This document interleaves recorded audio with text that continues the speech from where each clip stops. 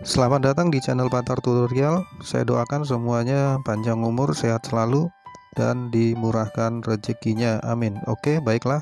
Di sini saya akan membahas cara mengetahui bahwa WA kita itu sedang diblokir atau tidak ya oleh seseorang, terutama orang terdekat pastinya ya. Kalau orang yang tidak kenal ya masa bodoh lah, tidak terlalu peduli gitu ya. Nah, untuk mengetahui gimana caranya, oke, sebelumnya saya akan kasih tahu dulu langsung ke WhatsAppnya gimana sih cara memblokirnya. Nah, ini ya. Langsung klik aja di sini. Langsung klik di sini, kemudian kita langsung ke bawah.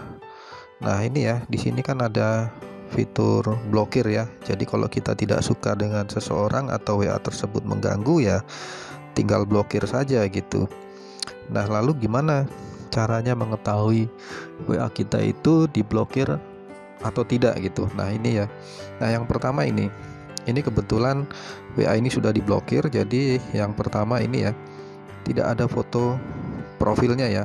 Kalau emang dari awalnya dia sudah ada foto profil, kemudian tiba-tiba foto profilnya hilang, itu biasanya identik dengan WA kita itu diblokir oleh si dia ya.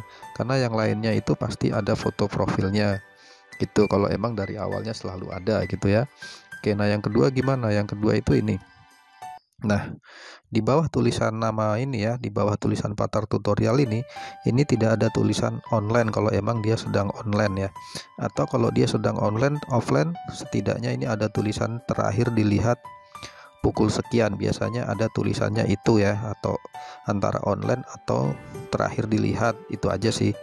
Nah misalnya kayak gini kalau yang online atau yang offline ya. Nah ini ya terakhir dilihat ya pukul 23.28 nah itu artinya WA ini tidak memblokir saya gitu. Ini hanya dia sedang offline gitu. Nah lalu yang ketiga gimana? Nah ya untuk yang ketiga itu langsung saja ke sini ya kita ketikkan namanya tadi ya. Patar ya. Nah langsung ke sini ya. Nah ini ya. Ini nama ini ya Patar tutorial ini kan yang memblokir saya yang memblokir nomor HP ini ya WA ini ya. Nah itu apa bedanya gitu? Nah ini ya.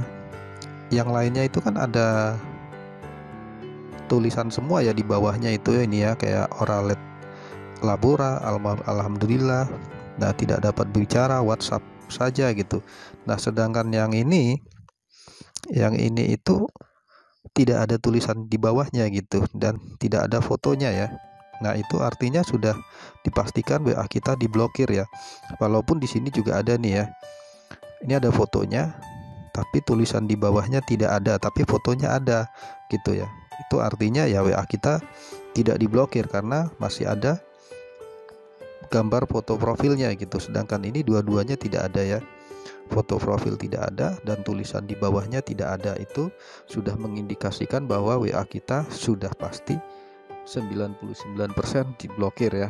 Nah ini cara mengetahui yang ketiga. Nah untuk yang keempat gimana? Nah untuk yang keempat langsung saja ya.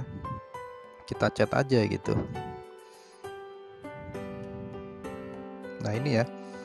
Jadi ketika kita chat sudah bermenit-menit bahkan berjam-jam hanya centang satu.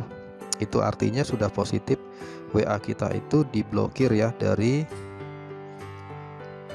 beberapa poin tadi ya. Yang saya jelaskan ada empat cara tadi ya untuk mengetahui bahwa WA kita sudah diblokir. Itu udah pasti ya. Jadi gitu ya cara mengetahui kalau WA kita itu sedang diblokir atau tidak Oke ya, saya rasa paham.